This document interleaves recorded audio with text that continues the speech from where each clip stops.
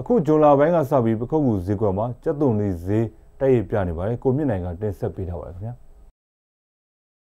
ပခုတ်ကူဈေးကွက်မှာ AV လာလောက်ကတပိတ်သားကို400လောက်နဲ့အေးနေတဲ့ကြက်သွန်နီဈေးကအခုဇွန်လပိုင်းကစတက်ရိပ်ပြလာက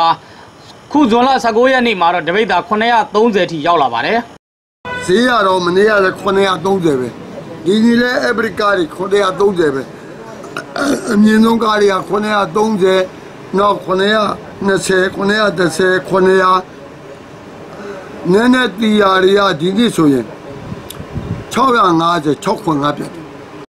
ကြက်သွန်နီဈေးတက်ပေမဲ့စိုက်ပျိုးသူတောင်သူတွေအတွက်တော့လောအားကညီငါးက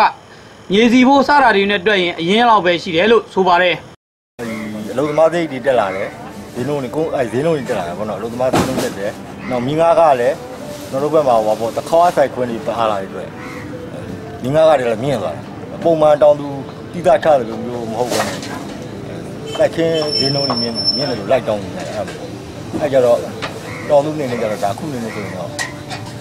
60ရင်းလောက်ရင်းလောက်ပဲကြည့်ပေါ့အဲ့ဒါအဲ့တော့ပဲကြည့်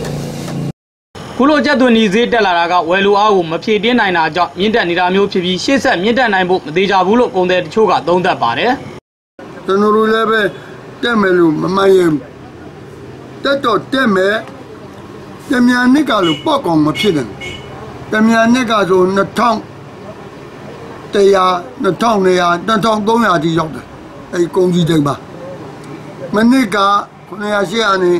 450 500တိကျတော့ဒီနေ့ဘယ်တိရောက်မယ်လို့တော့မမှတ်တတ်ဘူးဒါပေမဲ့အငယ်ငယ်တော့တက်ပါလိမ့်မယ်လို့မှန်းကြည့်တယ်အဲ့ဒီအနေငယ်တက်တဲ့ဟာတော့ရောက်ဆက်တယ်မလားလို့ပြောရင် ကျွန်တော်တို့မမှန်တာဘူး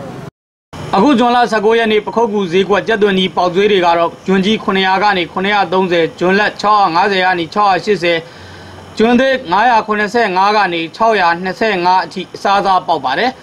ဈေးနှုန်းကတပိတ်တာဈေးနှုန်းဖြစ်ပြီးအချိန်ကိုလိုက်လို့ဈေးနှုန်းအပြောင်းလဲရှိနိုင်ပါတယ်ကျွန်တော်မြင့်နိုင်သတင်းပေးပို့ထားတာပါ